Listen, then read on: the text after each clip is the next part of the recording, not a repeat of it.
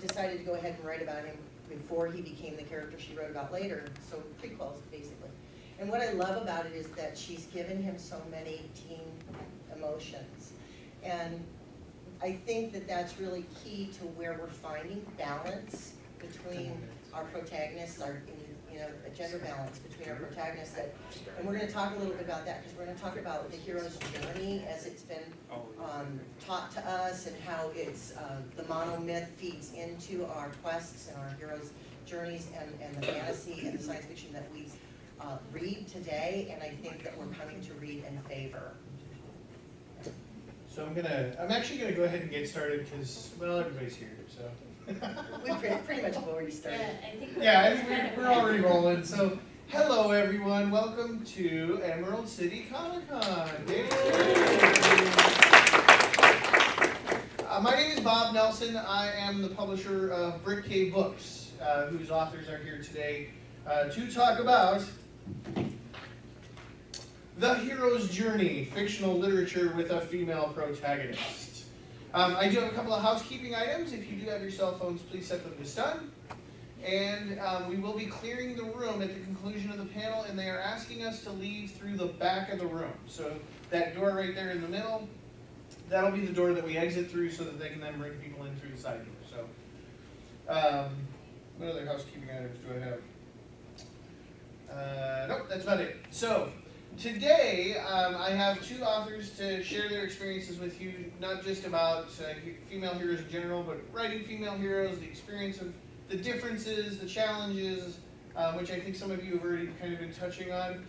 You are welcome if you want. You are welcome to use the microphone in the center of the room if you want to queue up to ask a question. Um, otherwise, I, you know, it's not a big crowd, so I'm not going to make a big deal out of it. If you just kind of want to raise your hand, I'll kind of indicate when it when we're ready to take that question. We're gonna start off. I'm gonna introduce our panelists, or actually, I'll let them introduce themselves, and then we'll go ahead and just kind of let them take over. So, Sharon. Oh. Uh, my name is Sharon Skinner, and I am a Brick Cave author. I've been writing for a number of years. I started writing novels in 1995. These are my three published novels at this time. I'm very, very happy. This is my new book, fresh out two weeks ago, hand in hand. So uh, Mirabelle is getting quite a good launch, and I'm very pleased with that. So, thanks for being here. Hello. Yeah. it's your turn. I'm uh, Jen C. Yeah, it's pronounced C. CZ. Um, and I'm new Brick Cave author, and this is on. It is on. Yes, thank you. and and I write. I write everything, but I write uh, young adult fantasy is the one that Brick Cave has picked up. Trolls, and they'll be out soon. Soon. Uh, June 5th at, a, at another comic convention that we And won't now- mention the and name now of. that that has been laid upon my shoulders. So, yeah, that's, She's also the author of a book prior to Brick Cave picking her up called Blackstrap's Ecstasy, which is uh, a book about pirates. Um, and it is available nationwide and electronically. as It's well. not just about pirates, it's about a very strong There female you go. captain. There you go. Yeah. So I'm gonna um, I'm gonna go ahead and kick off the panel. I'm gonna have Sharon, uh, if you would, I'm gonna have you talk a little bit about the hero's journey, maybe for people that aren't quite as familiar with it, and then we'll go ahead and, and I, I kind of want to open it up and let let the discussion just carry itself. So Okay, I'm a really big fan of Joseph Campbell's original monomyth, uh, Hero of a Thousand Faces, his idea of the hero's journey, and the way that it feeds into our need for story, and the way that we tell story, and how we, we come to story and relate to story, and how it, it helps us to learn and grow. However, um, Joseph Campbell was writing as a man in a period of time where most of our heroes were male, male heroes. There was a gender bias, there's not anymore. Um, and uh, so, you know, his idea of the hero's journey was that, of course, there are some very specific components to this journey. And one is that you get the call to adventure, and that takes you out of your uh, comfort zone when you decide to answer, which sometimes heroes don't always decide right away, but they then maybe get thrown into it. And at some point, you go out of your normal environment into a new realm, uh, a strange environment, a different place. So you go into the mythical realm. And you have adventures and you have helpers and there are all these little, I'm not gonna go into all the real specifics. If you guys really wanna do this, I really recommend um, Vogler's The Writer's Journey. Uh, so uh, if you're uh, writing the hero's journey, it's really good examples. But then at some point you uh, kind of capture the flag. You go down underneath into the darkness, you capture the flag, you come back and you bring something back to your community, okay? So those are kind of the, the key pieces. That's the cycle for a hero's journey. And at one point, shortly after he came out with the hero's journey, there was a, a woman who wrote a book called The Heroine's Journey. And her uh, basic premise was that the, the female hero's journey was internal. It was more of an internal, back to your, you know, comment about the emotional aspects. It was more of an emotional journey, you know. She didn't necessarily set out on an adventure. Um, and um, that's all well and good for maybe back when, at the time when she was really kind of pontificating on this, but I never bought into it. To me, a hero's journey needs both the masculine and the feminine perspectives. You need both sides of your brain. We all have a little bit of both in us. And the more balanced a hero's journey is for me, the more satisfying it is. So my female heroes do have a character arc, and that's the, the part that I talk about, the internal journey. That's what I would call the internal journey. But they also have external journeys. They actually go out on quests, they go out on missions, they do things. But they're not superheroes. They're real, they're real, fairly normal people, except for maybe Kira. but she's not a superhero. She just has some talents. Um, so for me, the most satisfying of the hero's journeys are those journeys that encompass both the internal and the external, which is why when you said earlier, uh, character arc, you, if you don't see it, you don't want to stick with it, right? So. So let me take a quick poll of the room. How many of you are writers? I'll ask that first. Okay. Ooh, my. How many of you have written or are writing something with a, a female protagonist? Yeah.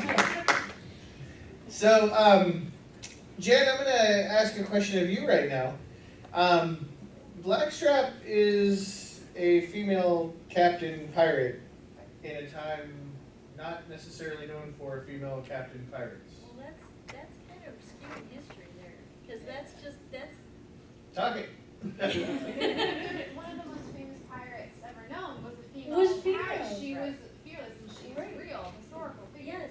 I mean, there's so many, and, Ellen, yeah, okay, many people think like Bob here, you know, that pirate, piracy was all men.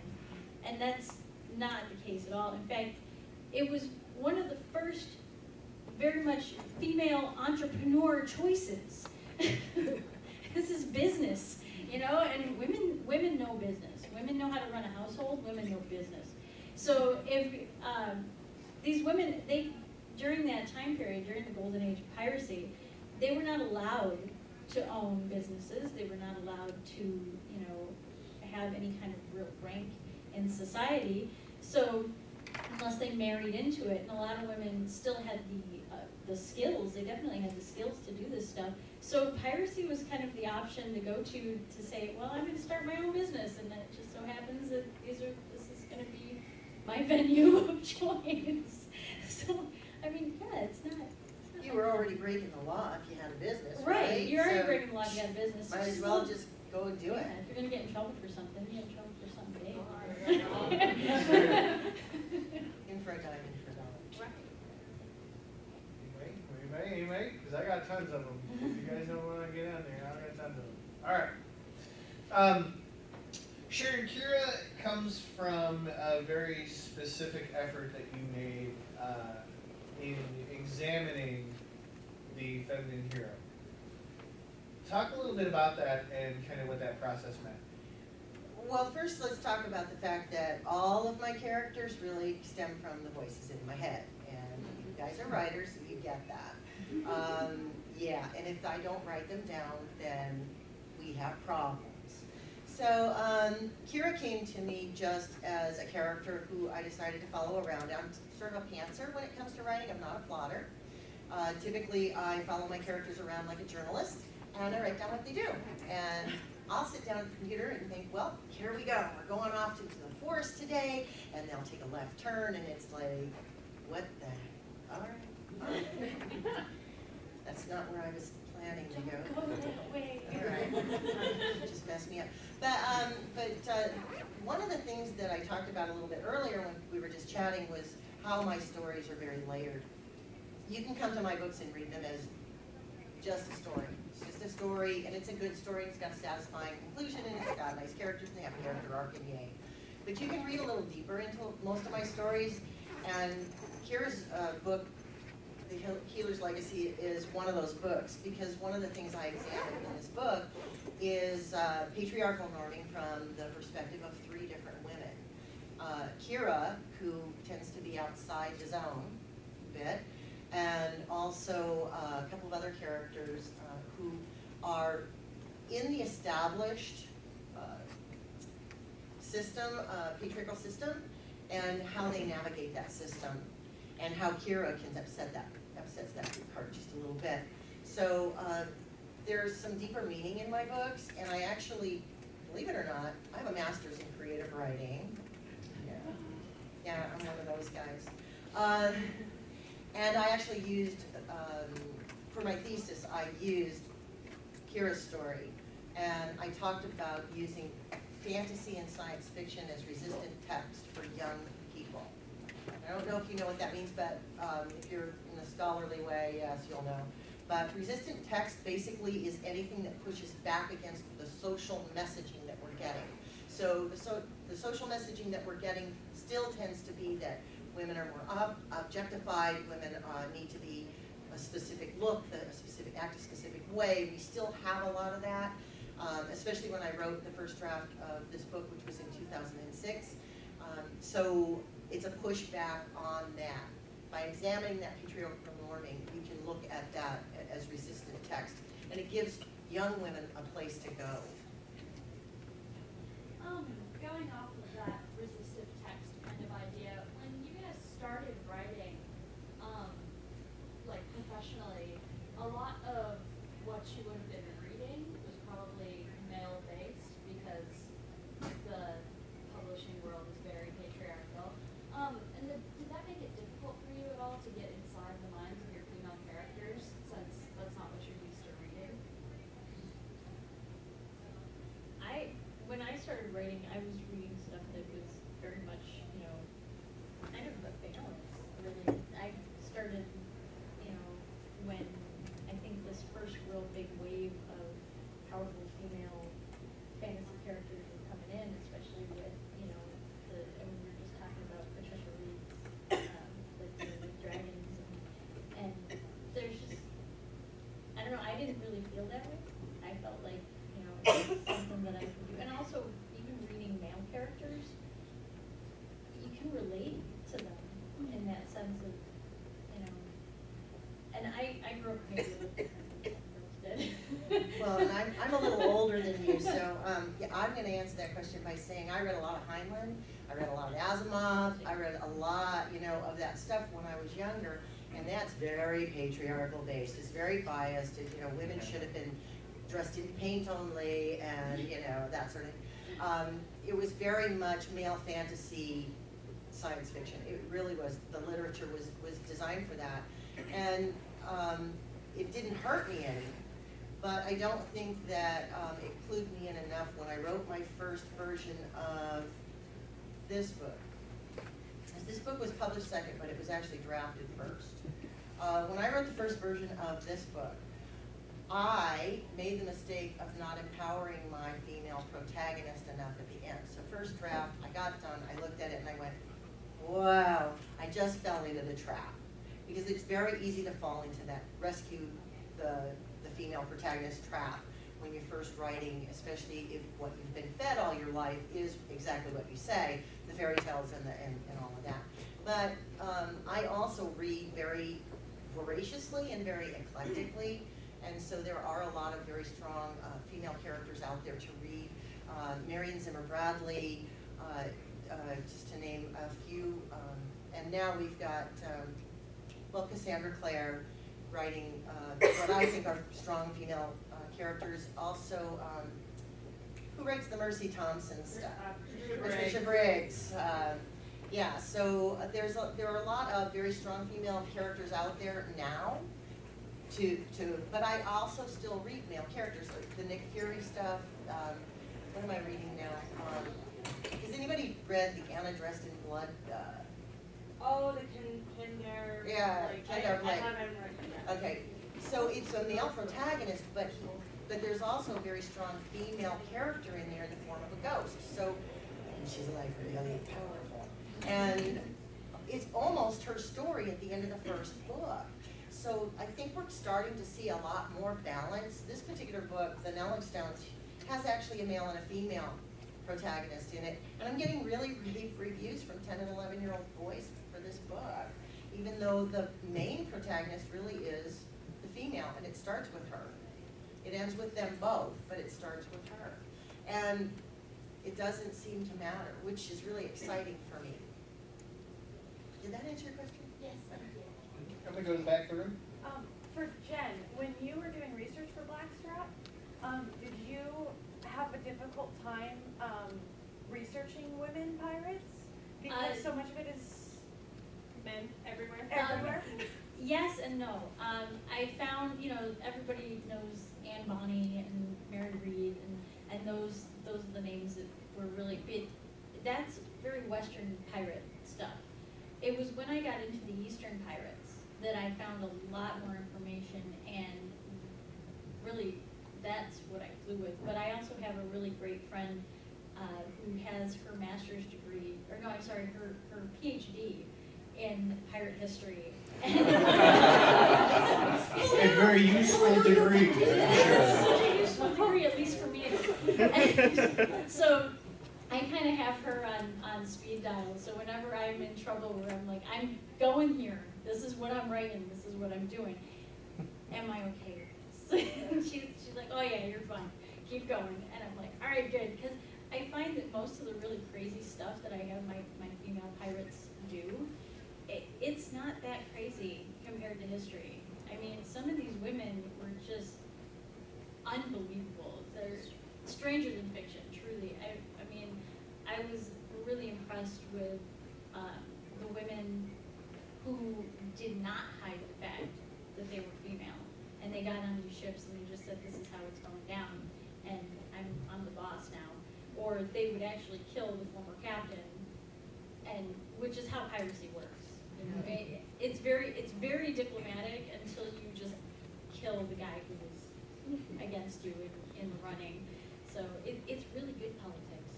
Remember that. So what constitutes as a strong female character? If two people get into an argument, like what kind of arguments would you use to prove or disprove that sort of thing, given a specific character? I think that, um, first of all, a strong, a strong female character isn't that different than her male counter- counterpart, really. I think that, uh, it's a person who owns their own destiny in many ways by the end of the book. Now, maybe not in the beginning, they may fight it in the beginning, they may, um, not want to own their own destiny, they may not want to own their powers. Buffy certainly didn't wanna own her, you know, she didn't wanna be a vampire, she wanted to be a cheerleader for crying out loud, you know? Um, go Buffy. Uh, but, but There's nothing wrong with wanting to be a cheerleader too. yeah, and she, she did manage to pull it off for a little while, except for, you know, when some of the cheerleaders went up in flames. But, uh, I think they have to own it, they have to, and they have to be willing to own it. I think that the important thing for me as a writer is to write a character that can be tempered through the fires of the challenges that they face. So, one of the things that has to happen is that your character needs to start at a place, in my, in my opinion, character needs to start in a place where they have room to grow and become that character that they need to be at the end of the book. They need to have what they have to be able to grow and do that, but they need to be tempered by the fires of all of the obstacles that they have to deal with by the antagonists, by anything that stands in their way. And that tempering is what makes them the instrument uh, that can, that can own their own destiny by the end of the journey. And that's really what needs to happen. And I don't care if it's a male protagonist or a female protagonist or co-protagonist. For me, that's true story. That's really satisfying. That's who I can connect with. Somebody who can learn to grow into what they need to be by the end of the story. Becky? Me? Yep. How do um, both of you feel about the stereotype that in order to be a strong female protagonist, you have to be masculine?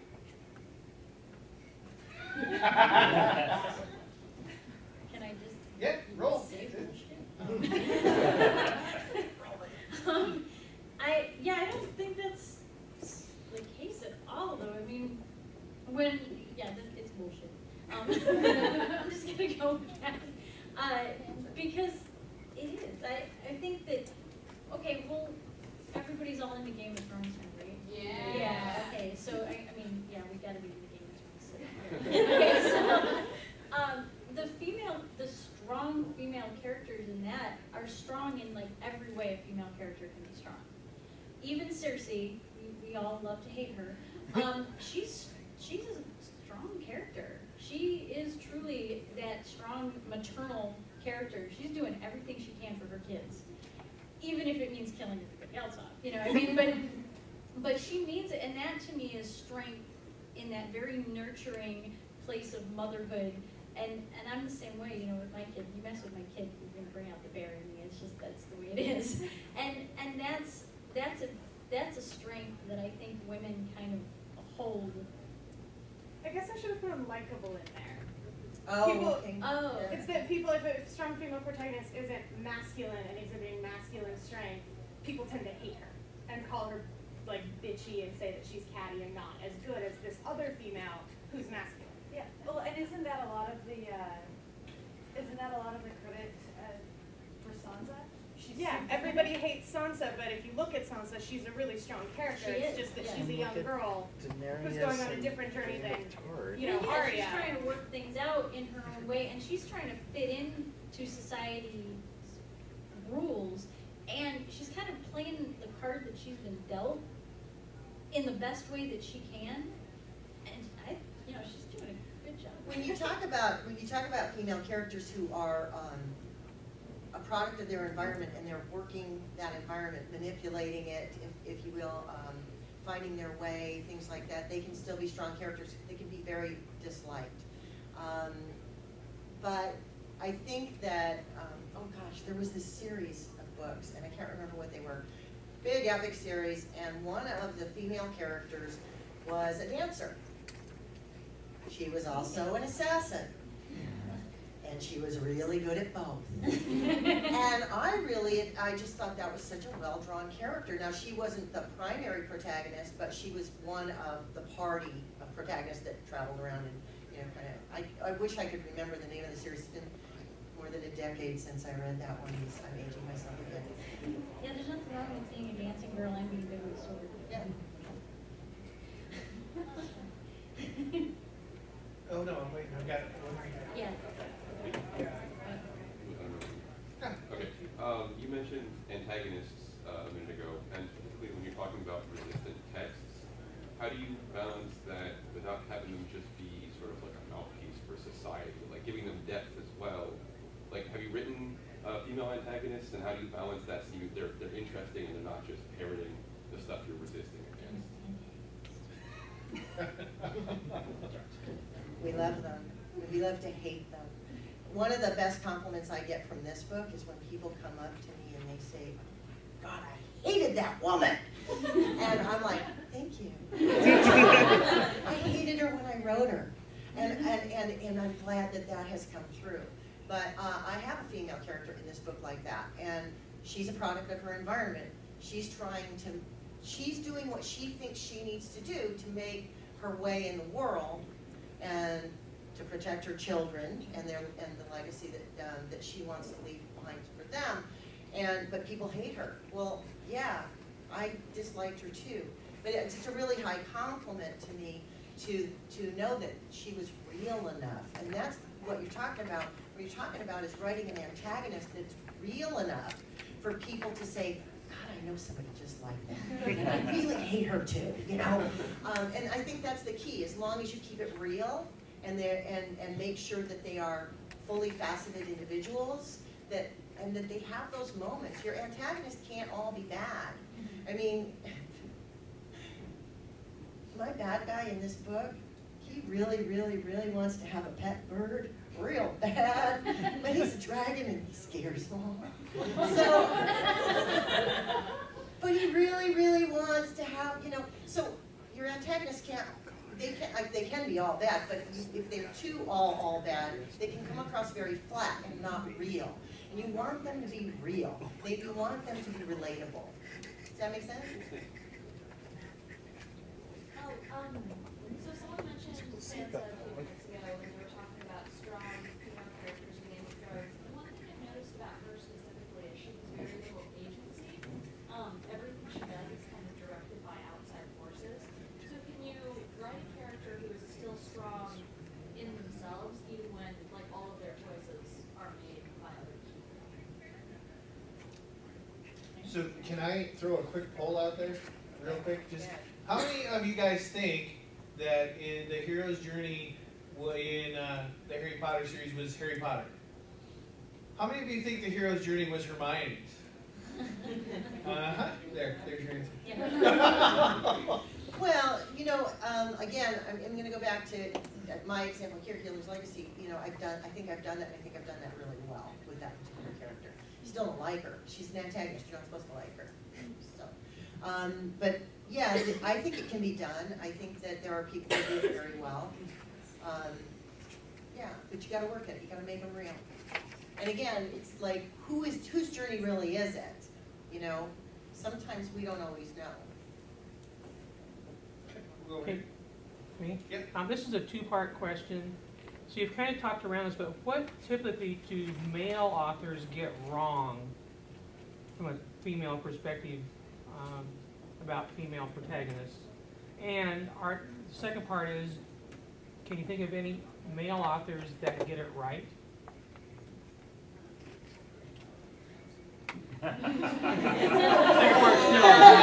Right there.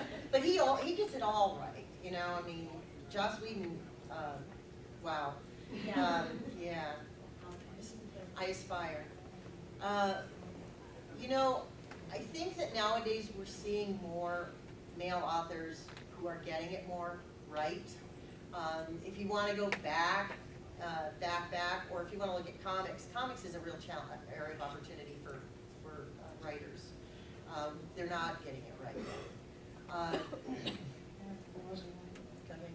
C.S. Lewis totally screwed it up in his Perelandra series. Anybody ever read the Perelandra series? If you're female, don't. Oh my god, it's horrible. Like I seriously couldn't even read the last book because there there is a, a phrase in the book, and I can I'm, I'm gonna misquote it, but essentially the the seed of it was okay. Now because I'm becoming a real woman, give up all my other frivolous dreams and settle down and become a good mother. I'm like, you know, that's cool to have that as well, but I read that and I was done. I'm like, I'm done. I, I can't do this anymore. And, and it had so much potential to be a good series because it was science You know- fiction and all this other stuff. You know who does a great job? Garth Nix. Sabriel. Yes. Come on, people, that is Yes. amazing stuff. And she is an incredible protagonist who uh, picks up where her father has left off in the, I guess it could become a family business. I, I don't know, you know, sending the dead to where they go. I, uh, it's an interesting concept. But Garth Nix um, with Sabriel has done an amazing job. I would say, uh, if you want a good example. Thank you. Anybody else got good examples? Yeah. Actually, I'm gonna go to the back of the room. Um, I have a question uh, for both of you actually. Do you find it harder writing internal strength or external strength? For like Sansa and Brienne of Tarth, it's really internal for themselves. What are they doing to survive? And I'm not sure if you've read like the Codex of Valeria for um, oh crap, I'm blanking on her name. Um, but somebody who's really going out there, like a uh, female assassin or something like that, where it's really in your face, shove, murderous, violent. here. Yeah. Um,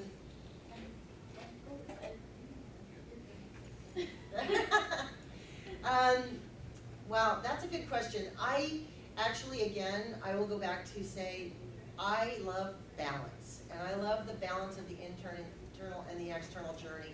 I want my characters to be fully rounded. I want them to have a character arc. I want them to grow. I want, but I want them to also gain the tools and the expertise that they need to uh, become that instrument that they need to be by the end of the book. And sometimes that means learning to sword fight, and sometimes that means learning how to um, Use a nurture. magical bell to pin and demon on the other side of the How- seventh yeah, gate bring, of bring the hell. right bells in the right order. I mean, you know, it's whatever the tool is.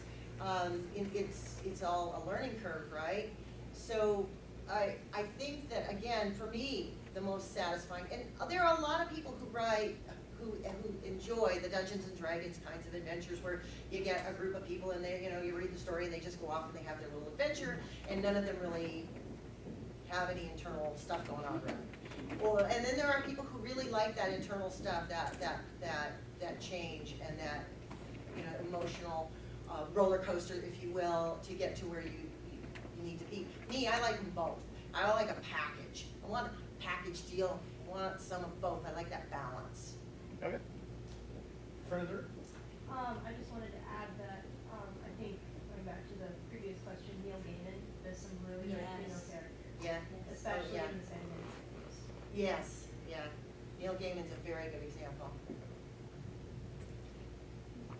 Um, well, I've got, I've actually got something to add on to that question. I think, um, even though he was a little bit in on the ethics of writing his book, I think Arthur Golden gets a, gets the female perspective very, very well done in the course of a geisha. That's, because when I was reading it, I could hardly tell who was writing it. It was. Anyway, my actual question, so you, t- we, we, talk- we're talking a lot about resistant texts and how to make, um, how to make a character relatable and, uh, resist social norms and tropes. But we also talk about reading eclectically, so we know that we need to read all kinds of stuff like that to, you know, get an idea of the things that we could or should be resisting. Can you think of some really good examples of things that we can read that are prime examples of the tropes that we should not follow, like Isaac Asimov or Twilight. Just gonna say it. What character arc? Yeah. What characters? What character arc? I mean, was it, was there some character arc in it? I didn't see any character arc in there. Uh, people love it, and people love it because it's escapist uh, fantasy more than that it's. Um, for me, it was yeah no. First book, fine. Should have stopped there. I would have been okay with that, you know. And all the rest was like. But um, so that's a prime example. Um, gosh, I hate to pick on her, but the host. Eh, whiny, whiny, didn't change, I don't know, character. So, uh, to me, that's what it seemed like. So again, this is a matter of taste. So let me tell you what I think about mentor texts. You read wide and you read voraciously and you read very eclectically because what you're looking for is how to do it right, how to do it well, and you're also looking for, oh my God, I don't ever want to do that. so mentor texts are those books that you pick up and that you read and you say, I'm going to kind of pick this apart a little bit and decipher this, and or you or you get so sucked in to a point where you go, wow, how did the author do that? That was amazing. I got so sucked in, I forgot that I was trying to read this as a mentor text. And you want to go back and read those pages, and you want to see how they did it. The, the, if you were a painter, the first thing that you would learn is to copy the masters, okay? You would learn to copy the masters, and I don't mean, you know, literally for writing, copy the masters, because that's plagiarism, and we don't do that. But when I was, um, when I got to the point in The Healer's Legacy where I needed to write a battle scene, right? I sat down at the computer and I went, I don't know how to do this. Uh, so I said, okay, so who have I read that does this and does this really well? Oh, George R. R. Martin, right? That's one. I picked several, actually. And I went and I picked up several of their books and I went and I found the battle scenes. And I looked at how they did it, not exactly the specific, the, you know, A, B, C, D, E, but how they pulled it off that made it real. You know, and in, in the case of Martin, he has a tendency to, to give you the eagle, uh, eagle view and then bring it in so that it becomes more personal. And he does a beautiful job with it, and so I wanted to copy that technique. So copy your techniques. Copy those brush strokes of the uh, artists who have gone before you. Use what they've already learned to learn from. Same thing goes for if you read a book and it's like, oh my God, I have to throw it at the wall. It's so bad. Well, not if it's on your Kindle. But um, that would be bad. But you know, if you get to that point in a book where it's just look at it and figure out why is it that I hate this so much, or that it's just throwing me out of the narrative so badly that I just can't stick with this book. And don't do that. Don't do that in your own writing. So that's that's how I come to what I call mentor texts. But it's you can read any flavor that you pers- personally care for and use those mentor texts. You don't have to use the ones that I use. Um, pull us off track just a little bit. What do you think of um, transgender politeness? I have never crossed, I've never written that, so I, I don't know that I have much to, to actually say insightful about it. But, I mean, I imagine it would be just as much, you know, you're really talking about, and again, I think this kind of goes, it is on track with talking about the female versus the male protagonist, because, again, it's about being human first. And so those gender roles, whatever they may be, aren't really about specifically what gender they are. It's about what what growth, what character arc there is, what what's happening. So, and and that's a completely different story for that character too. And there's there is an internal and an external that goes along with that. So I, but I've never written that, so I don't know that I could offer anything. Do you have anything you can offer on that? I'm working on an urban fantasy, and I'm typing away, and I get real uncomfortable because I suddenly realize that my character is bisexual. And I'm scared because I don't want to offend anybody because I don't know that world. So I'm trying to push her in another direction. Shoving her over here, don't do that, do something I'm familiar with, because they say write what you know, right? So I go to a writing conference and I hand in my first 10 pages of this novel to a very well-known editor at, um, who is it, Scholastic. Oh. Real nice guy. And he takes a look at it, no, he's a, he was a sweetheart, and, and he, he takes a look at it and he said, so, uh, you having a little trouble with your character here? And I said, yeah, and he said, yeah, I think she wants to, uh, be, uh, gender different than what you want, you know, and I'm like, uh, how could you tell that? And he says, I can tell, and he says, and you're pushing her away from it, and I said, well, I got scared, and he said, you know, it's all about love. So I'm about three quarters of the way through writing that book correctly, letting my characters be who they want to be. So again, it's about being human and it's about not being afraid to take that leap, especially if you're going into to territory that your character clearly knows, even if you don't. Oh, I'm sorry. It's okay. Um, So, something I did recently as kind of an exercise in like gender perspective in my own writing is I wrote a scene with a male protagonist, and then I went through and I changed all the pronouns to female pronouns, and I reread it, and it completely changed who the character was, like in my mind, just that one change. Um, so do you think that's more like how society kind of makes us view the differences, or do you think you do actually need to write men and women differently? I think you need, okay, so uh, that's a really good question. So let me put it the way that my brain works. I, if, have, have anybody in here ever taken those tests where it tests to see how, how masculine or feminine you are in your brain? Yeah. Anybody do that? Yeah, I'm like forty-nine, fifty-one, you know, I'm like right there, and it's right down the middle. So, for me, when you're writing about, um, when you're writing character, it's all about how effeminate do you want a character to be, male or female, or how masculine do you want that character to be, male or female? So what, what do you view as those strengths and weaknesses that you want to give a character that fall along that range? Because we all fall on that range somewhere, some more to one side than the other, but we all fall on that range. So to me, it's not so much about gender as it is about our masculine, feminine uh, sides of who we are. Does that make sense? Yes. I was just thinking, the reader is gonna read it in their own way.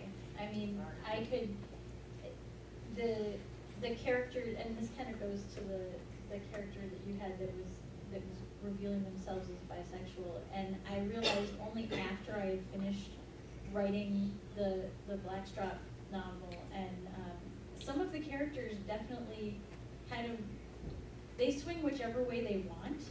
They don't really have a, a gender bias in, in any way. In one of the characters in particular, the antagonist, she's, it's about power for her.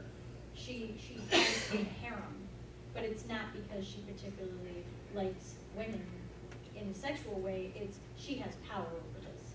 So, and it's, that's more, and, and in that case, it was because in her society, that was how you show you have power, is you have this collection of people. And but if somebody, if I were to write that same character as male, it would be pretty basic, flat, typical kind of bad guy character. He's got this harem of women. And when I wrote it with a female, um, it it still had that kind of okay, well, this she's a bad guy because she's got all these these women collected underneath her. And yet, when somebody else read it, they clearly saw something in it, and I'm like, well, you know, that's how you're gonna read it, that's how you're gonna read it, you know. It is art, so, you know, some people will hang a picture up on the wall upside down because they didn't know that it was painted the other way. Um, so people will come to your work and they will read into it, because we all see the world through our own lenses. And so there is a certain amount of that that's going to, to happen. Um, as a writer, we hope that people will love the books, love the characters, you really get into it, get lost in the worlds. But if you're lost in the world and it, you know, you see it just a little bit different than I saw it when I wrote it, I'm okay with that because that's how you see the world. As for, uh, I want to go back to something Jen said real quick, motivation. Motivation is huge and human motivation is what drives us all. And so if she has a female character who has a harem and it's because of power, that's a very different thing than a male who may have a harem because, well, he's just a lusty old guy, you know? so it's, you know, it's all about motivation. And um, you have to make sure that the motivation behind what your characters are doing are believable, reasonable, real. That's what makes them real characters. That's what makes them human for us. That's what makes us relate. There's one right here. Um, okay, it's- I'm not quite sure how to put this, but I was looking at those um, character tests to make sure your characters are, don't- aren't like really cliche. Um, one of the aspects on there was talking about the um, sort of, I, think it, they put it as generic rebellious princess syndrome. I want to know what are your thoughts on that, and if someone, for example, wanted to write a story about a princess, how to pull away from something like that. Well, okay, uh, for me, okay, so you're talking um, Serene, and uh, what, what's her name in uh, uh, Patricia Wrede's books? Oh, uh, you're Dealing dealing with with Dragons. Cimorene. Cimorene, okay. Cimorene, yeah, she's kind of your typical rebellious princess, but she's got mad skills. So there are some differences, you know, that, that give her an edge. And, um, okay, what's a good example? Well, Ari is a good example of a rebellious princess too. I mean, But yeah, Okay, but, um, what you need to do is take the trope and turn it on its ear, okay? So if you wanna be original, you, you can take that cliche character, change something drastically about that character, or give them some sort of completely different motivation, or some sort of mad skills, or huge character flaw, because flaws, yes, it's all about the flaws, really. Uh, the Achilles heel, we need to have those in our characters or they're not believable. Um, and, you know, take that and switch it up. The other thing I wanna say about that is character tests and character sheets and things like that are, are helpful tools, they can be really helpful tools, don't let them run your life. Don't let them tell you how to write and how not to write, because the only real rule to writing is that you need to write your heart out. I, I, I just can't tell you how much, I mean, you can go to school, you can, you know, can learn all the ins and outs, all the proper grammar, all the, you know, all the ways to write, all the cliche, all the, you know, everything that you're supposed to do, know the hero's journey in and out, but if you're not writing your heart out, if you don't enjoy spending time with your characters, if you just don't look forward to going and sitting down and going, I love her voice. I need to be with her tonight. Um, if you're not doing that with your characters, then you need to think, rethink what you're doing and maybe try and find that relationship. Call it date night with the character, if you will. Um, but don't let the tools get in the way of that, is what I'm saying. You know, the rules and the tools. Because the, everybody's got their rules, and you know, every book that you read will tell you how to do it. Well, that's how that author did it. But we're artists. So, um, up here. You, when you were talking earlier about Nick Fury and how you like you're defining the balance and kind of making male characters more human and less strong. As a young man, I was always taught, you know, through these characters that to provide value to family and society, I need to be strong, I need to not have those emotions. If I'm deemed weak, I'm not good. Um, if you're having strong, stronger female characters, is it challenging writing likable male characters that don't exhibit those traits? Um, I, in the, in the Blackstrap book actually, and actually in Trolls too, the male and female characters really balance each other out as well as they kind of have a balance in, in them individually too. They, I mean, the difficulty wasn't really so much in making sure that they weren't like overpowering the female characters, if that's what you're kind of getting at, is that they're, I, I didn't make them weaker just for the sake of the female character being stronger. Um, they just were stronger in different ways, and it, so it balanced them out. And as far as making them likable, I think, again, if you add that depth to the character, if you add those flaws, if you add, if you have that, again, we just keep saying over and over again it's about being human, it's not about gender, can we? That'll the takeaway of the The day. takeaway of the day. But I think, yeah, you don't have, I don't think male characters necessarily are less likable if they're strong, Or if they're not. Yeah. or if, or if they're, or if they're weak, in, in that they, as long as they exhibit something about them that offers an assistance to the female character, or is, they're still, they're still growing. To me, if they're young, if they're weaker, there's, there's gotta be a strength in there somewhere that doesn't necessarily have to be a physical strength. You can have male characters that may be physically weaker, but are mentally adept at something. So I don't, I don't know that that's answering the question exactly, but it's, I'll answer that question. okay. Se- Sequel to the Healer's Legacy is in process. And uh, partly because a lot of people have been asking it and I get it done. Uh, Partly because uh, there's a story there. Where did I stumble? I stumbled exactly where you were, where you just said. I stumbled mainly in allowing both of my characters now, because I'm following a male and a female character in this realm, to be their own people whether they're traveling together or traveling apart. I stumbled a little because I was worried that it would no longer be Kira's story.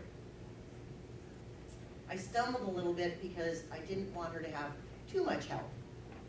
Because she needs to go through some more of that tempering, because otherwise she's not following that character arc. But, you know, the first book arc, second book arc, if I have a third book, I want her to have a character arc in each story. I don't want it to end up being one of those Twilight things where she almost kind of sort of got no, Um, so, yeah, I st- I, I struggled a little bit with that, figuring out who they would be together and how their strengths and their weaknesses would play off of one another. And I'm working on that now, but, um, it took a while. Just- I hope that answers. All the way back, yep. Oh, I did have my hand up, I'm by now a little bit off topic, but I'd like to get back to the uh, question of trans or uh, intersex characters. Or in some cases, aliens that do not have an identifiable, uh, sorry, an identifiable sex. And I've produced a couple of these in my own writing, and I've always wound up with problems with them.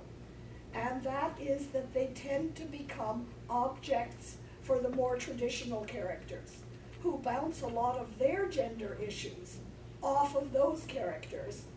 Um, I did that with one intersex uh, man now living her first year as a woman in a young adult story where a bunch of, a couple of other girls decide to teach her the girl rules.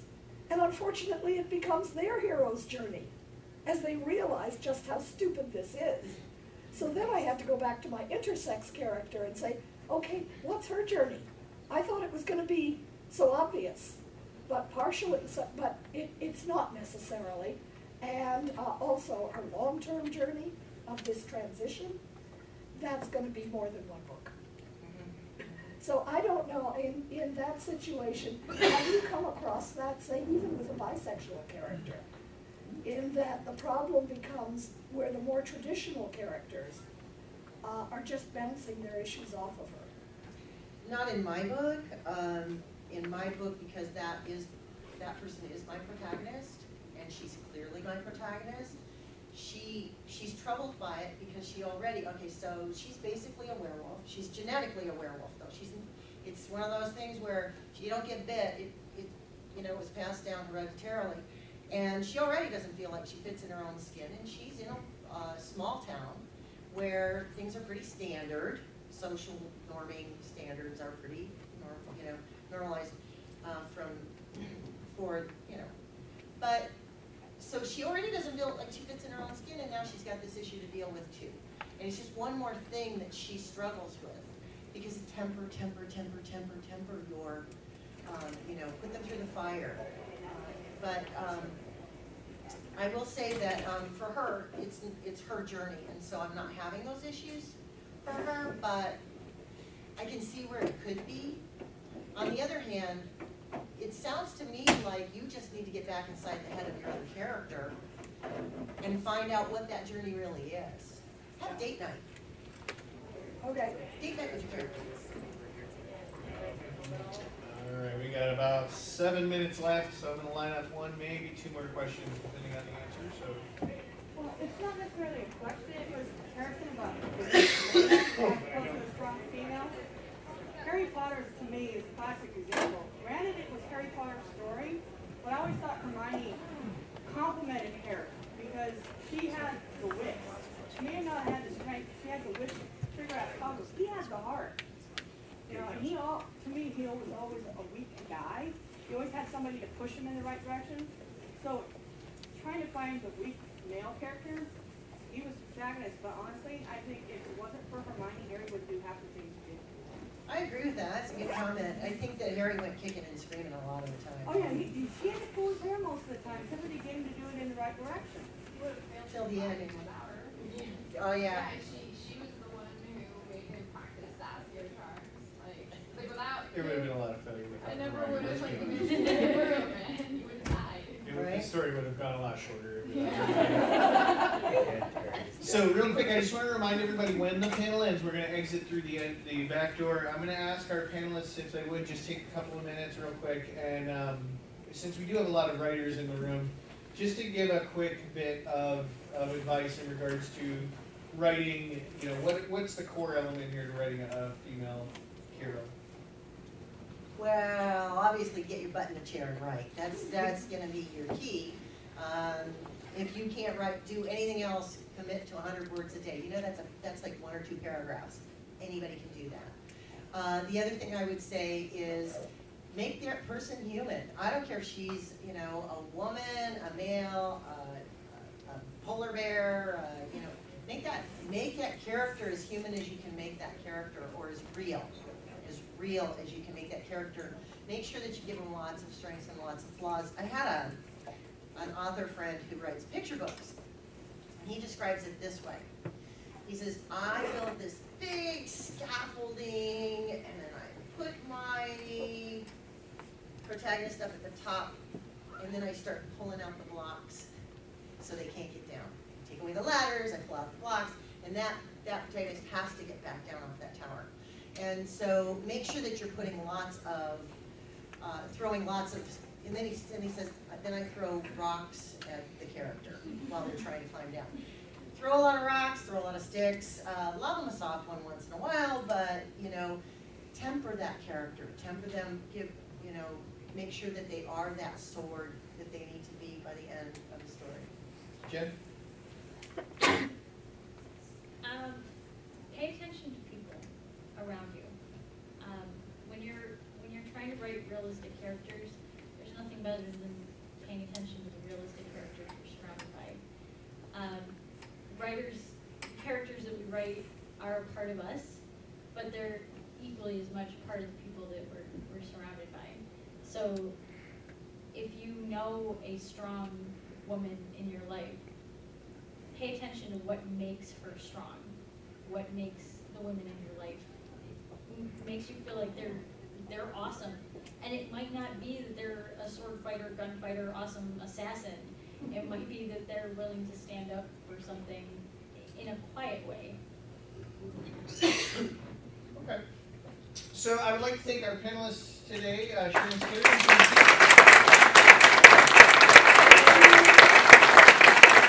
are welcome, if you have a couple minutes before we officially have to walk out, you are welcome to come up if you want to grab another poster, bookmark, whatever, or talk to them while we have a couple minutes. Thank you all for coming and have a great rest of the con.